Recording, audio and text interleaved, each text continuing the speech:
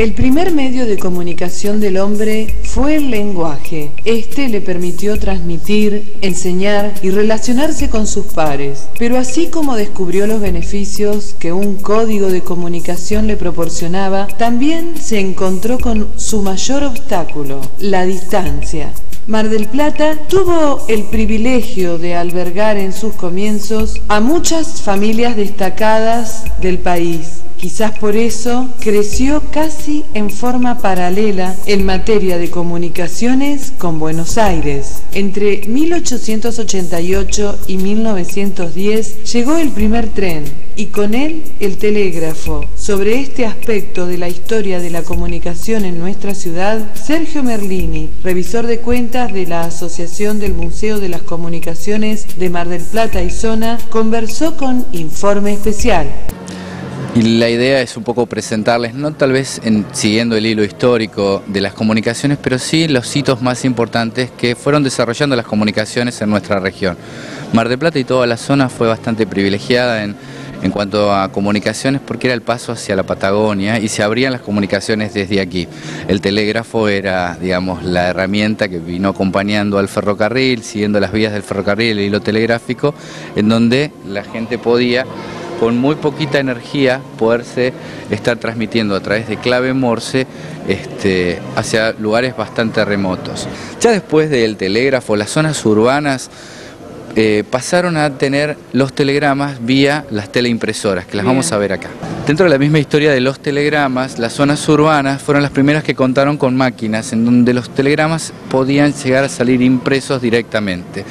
La información venía de Buenos Aires o de cualquier parte, pasaba por la cinta que se imprimía, continuaba, pasaba por un, aparatito que se llamaba Gomero, era un aparato muy curioso que esto nos lo cedió un em, ex empleado del correo, llegaba hasta acá, se cortaba y se pegaba en los telegramas. Y así quedaban los telegramas pegados, renglón por renglón, impresos y pegados de ahí salía el cartero a entregarlos y era bastante eficaz y rápido. Las oficinas de telégrafos este, trabajaban realmente mucho. No nos olvidemos que el telegrama era el instrumento de gallardía, era un poco más importante que la carta, sobre todo en grandes eh, ocasiones o grandes eventos. En un nacimiento, este, si uno no podía estar presente, mandaba un telegrama de salutación.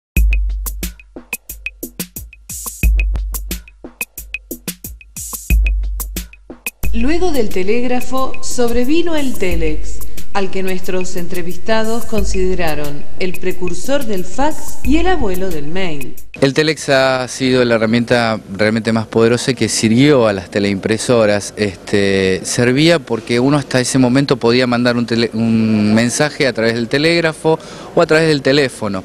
El telex empezó a permitir mandar mensajes escritos, lo cual significaba que lo mismo que se escribía en una máquina, salía en otra al mismo tiempo. Vamos a verlo, mirá. Lo mismo que se escribe acá sale en la otra máquina. Obviamente estas las tenemos para que los chicos puedan entender cómo funcionaba el mecanismo. Este, lo mismo que estaba en la Argentina, esta podía estar en Japón y eh, con lo que tardaba la comunicación podía estar teniendo. El Telex tenía documento, validez de documento legal lo cual permitía de que los bancos lo pudieran utilizar para transacciones financieras, los organismos gubernamentales, que eran quienes más lo utilizaron, y, este, y el Telex tuvo... Eh, tiene distintas alternativas para poderse comunicar, no solo por un cable, sino que través también por este, vía radio. En la Argentina, a partir del, del 35-40 este, hasta 1980, en donde con la venida del fax, el telex ya entra en desuso. Es el paso anterior del fax y es el abuelo del mail, porque es la misma mecánica en donde uno pasa un mensaje hacia, hacia otra persona escrito y que llega en muy poco tiempo.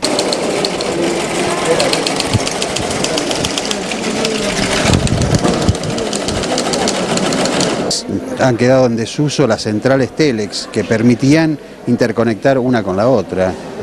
O sea, las redes Telex en el mundo ya no están funcionando. Los telex eh, normalmente se usaban en salas, estas salas, eh, por ejemplo, la que tenemos ahora a la vista es del diario, de un diario en donde tenían su redacción y con todos sus corresponsales del mundo podían estar este, eh, conectándose online. Era una herramienta muy poderosa para pasar noticias eh, y que ya salían impresas y que se publicaban en el diario al día siguiente.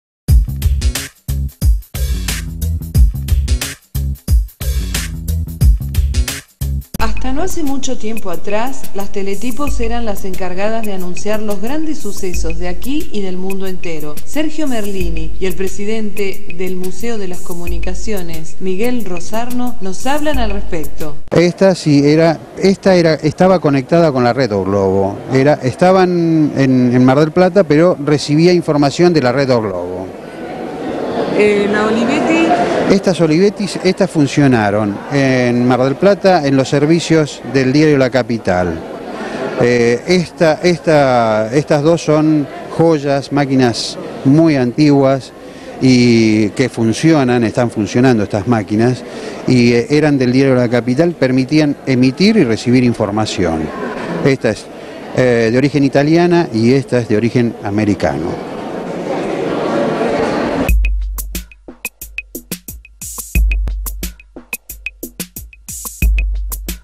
El invento de Graham Bell fue también parte de la tecnología más popular y sencilla de la historia, y en Mar del Plata, en los albores del 1900, se creó la primera cooperativa de teléfonos llamada La Marplatense. Ese teléfono, eh, ese pertenecía al Hotel Centenario y este pertenecía a el Ferrocarril Sud, que comunicaba, eh, se comunicaban, era interno y permitía comunicación entre lo que era el la estación del ferrocarril central con la que estaba lo que es hoy día la estación terminal de micros. La mayoría de estos teléfonos funcionaron en algún lugar en Mar del Plata.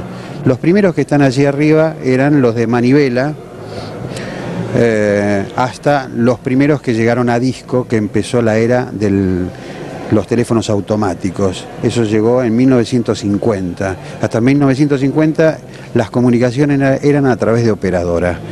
En el 50 se genera una gran revolución y llegan los teléfonos a disco donde la operadora no intervenía. T negro, que era una línea directa que comunicaba a el correo central con la oficina del correo del puerto. Y después, bueno, todo lo que es más colorido, empieza a llegar en la década del 50 al 60, donde ya sí este, llegamos hasta los teléfonos digitales. Ese teléfono, eh, ese, ese era del Hotel Brasil, hoy día desaparecido que estaba en la manzana 115. Ah. No, es un teléfono fantasía que se utilizaba en la época del 50 y del 60. Estos teléfonos, en la época que no había tantas líneas telefónicas, Entel creó este servicio, que era un servicio de teléfono compartido. Compraban el teléfono entre dos familias y lo podían utilizar las dos familias. Naranja, digamos. Este naranja era un servicio semipúblico, los que ahora también ya hay, pero eran con cospeles. Funcionaban con cospeles. El teléfono estaba en algún, este era de un, de un este, de una, un comercio allí en Colón y Catamarca. Estaba ubicado allí y estaba en un escritorio como igualmente ahora, pero eh, funcionaba con, eh, con fichas. Este teléfono tiene también una característica, este teléfono fue el primer teléfono que funcionó para el 110, que era el teléfono, el 101, perdón, el teléfono del comando que tenía una, una dualidad permitía subir el volumen a través de esta perilla. Ah, es de origen americano. El teléfono es un teléfono de prueba, utilizaban los eh, que reparaban los teléfonos. Eh, aquel teléfono que está allá, que ya es digital, el gris, ese teléfono era del Hotel Turbillón. Ah. Por eso decía que esto es un poco la historia de los teléfonos que funcionaron en parte de nuestra ciudad. Hay teléfonos del, hotel provincial, del hotel Horizonte, de muchos hoteles que hoy día han desaparecido.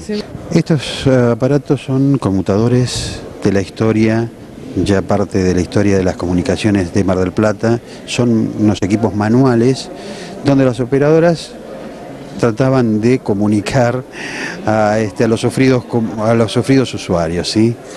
Eh, era todo muy manual, a través de, de, clavijas, no existía lo que era hoy, lo que es hoy día una comunicación automática. Una comunicación era realmente poder conseguir una comunicación era llevaba su tiempo. Era todo una odisea. ¿De qué año es? Esto es eh, de la década del 30. Después se fue modernizando y se utilizó hasta la década del 90. Llegando ya a nuestros días, encontramos de que el, el teléfono ya no necesita un hilo para este, poderse comunicar y alguien puede llevar su número de teléfono a donde quiera. El teléfono se hizo móvil en 1990, la empresa Movicon fue la primera empresa que eh, desembarca en la Argentina a través de un teléfono móvil. Los teléfonos móviles originales eh, eran de este tamaño, tenían una antena bastante prolongada, y uno podía marcar su número y poder discar.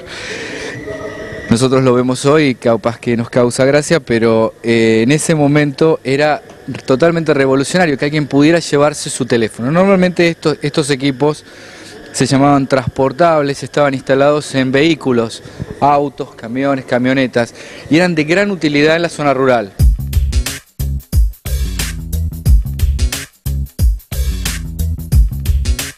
Las distintas fuerzas de seguridad de nuestra ciudad constituyen un pilar importante en las telecomunicaciones de Mar del Plata.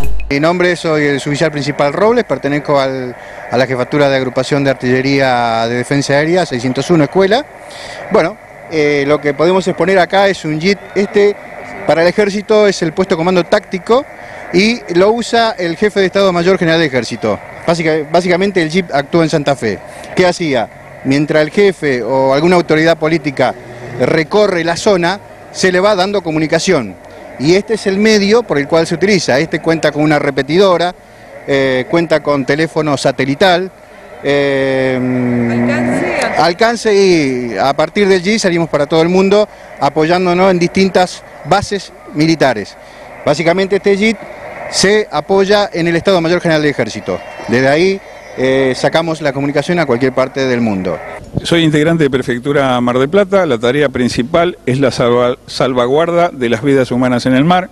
Por ese motivo, la Prefectura Naval Argentina cuenta con la sección de comunicaciones. Este equipo que está marcando la frecuencia 156-800 MHz es la frecuencia de Canal 16 del Servicio Móvil Marítimo. Es el canal de socorro internacional. Acá todas las embarcaciones se comunican por esta frecuencia y el hombre de prefectura la hace pasar a otra frecuencia para no interrumpir si llega a haber alguna emergencia en ese momento. El equipo de abajo está marcando la frecuencia de 4354, es donde eh, cuatro veces por día, cada seis horas, la prefectura Mar del Plata recibe la posición de los buques eh, manifestada por eh, los respectivos capitanes. Si no se logra el cometido de que esa embarcación eh, se comunique con, a las seis horas con la prefectura Mar de Plata, eh, la prefectura implementa una búsqueda a través de sus unidades de superficie y aéreas, juntamente con la Armada Nacional y todos los barcos que están en la región. Buenas tardes, yo soy el cabo primero Giliberti de Radio Estación Mar del Plata que usted cuando tiene algún problema usted llama al 101, es un medio de comunicación, un teléfono. De ahí nosotros repartimos, o sea, hay un, un jefe que organiza el operativo o el encargado de mandar un patrullero o varios patrulleros a la emergencia y para eso necesita una red de comunicaciones eficiente para poder en varios segundos, usted llamó por teléfono, en dos minutos ya distribuir los patrulleros y evacuar ese problema. Para eso se hace falta equipos en toda la red, o sea, en toda lo que vendría a ser la zona de Mar del Plata distribuida. Por ejemplo, acá en la zona de Mar del Plata todos los patrulleros tienen equipo de comunicaciones. Según el comando están distribuidos de diferente forma. Entonces, cuando ocurre un llamado eventual, el encargado del comando o, del servicio manda o dispone distintos patrulleros. Inmediatamente el operador de comando o de Radio Estación Mar del Plata, de donde venga el llamado, dispone un operativo o dispone la, evacuación de esa, emergencia. Y es, transcurre entre dos y cinco minutos.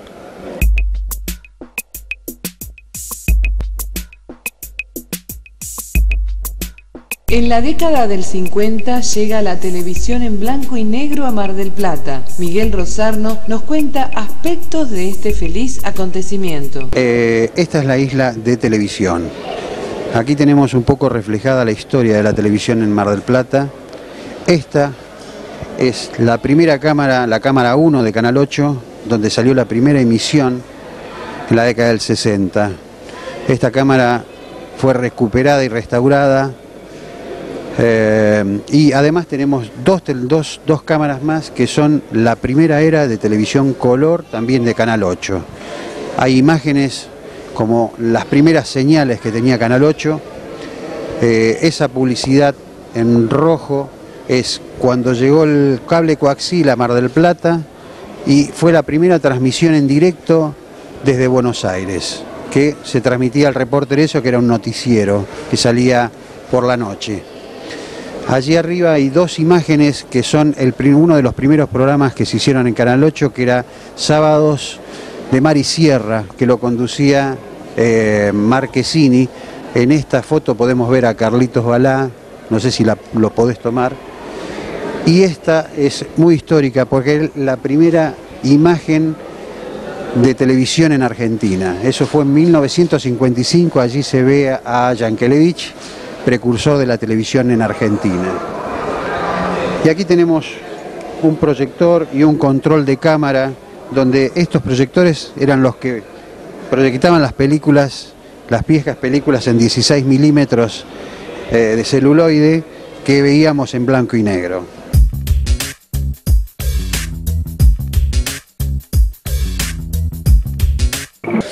Y como les comentaba, el tema de, las, eh, de los satélites ya empieza a estar en desuso, las comunicaciones telefónicas ya prácticamente no están pasando por los satélites, eh, se está limitando únicamente a señales de televisión por dos motivos. Uno porque ya surgió tecnología nueva a través de la fibra óptica que está anillado el mundo a través de un cable sub este, submarino que está sobre el lecho este, subacuático, eh, permite pasar comunicaciones a la velocidad de la luz. La fibra óptica es un hilo de vidrio que induce luz y porta su mensaje en luz. A diferencia del satélite, la fibra óptica no tiene retardo, eh, que es muy común en las comunicaciones vía satélite, en donde hay un espacio muy prolongado entre un mensaje y otro mensaje. Por eso es que está siendo destinado ya pura y exclusivamente a las transmisiones de, video, principalmente eh, cable, la televisión que hoy vemos nosotros por cable que se transmite satelitalmente. ¿sí?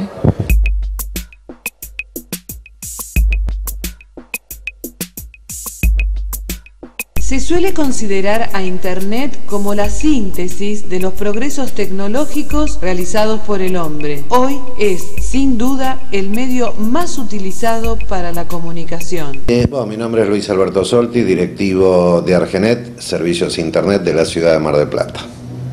En el mundo, eh, bueno, la crea el ingeniero Polvarán a solicitud del gobierno de Estados Unidos para crear un sistema de comunicaciones de alta seguridad ante un posible eh, desastre eh, nuclear.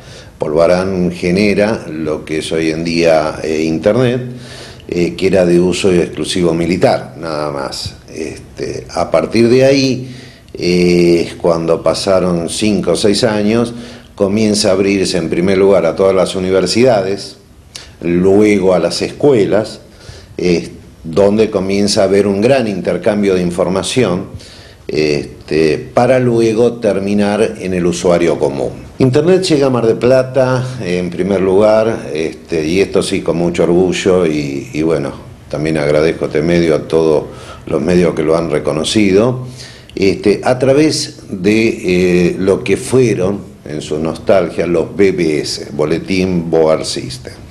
En ese momento nace en Mar de Plata Han Radio BBC, en el cual fui eh, el creador del mismo, y en ese momento no existía todavía eh, el World Wide Web, eh, Internet se manejaba a través de programas de DOS, no teníamos los dibujitos que la gente ve hoy en día, eh, era bastante complicado mandar un mail, eh, hacer un, FTP como hacemos hoy en día, traslado de imágenes o archivos. es más, los mails salían, en ese momento recuerdo, cuatro veces en las 24 horas, cada seis horas. Yo tenía que mandar los mails hasta Canadá, gracias a un amigo eh, canadiense, en el cual él me los reseccionaba, los distribuía en el mundo y él me mandaba todos los mails que eran para Mar de Plata. De ese momento se distribuía acá. Se ha prestado durante muchos años. Argenet fue el precursor, por haber sido los primeros ISP de Mar del Plata, fuimos los precursores de dar el servicio tanto a la municipalidad, al Entur, eh, al bueno, a todos. Seguramente muchos vieron con cierta nostalgia aquellos artefactos de comunicación utilizados antaño, pero paradójicamente todos ansiamos mejores y cada vez más rápidas formas de comunicación con el mundo. Quizás lo mejor aún está por venir.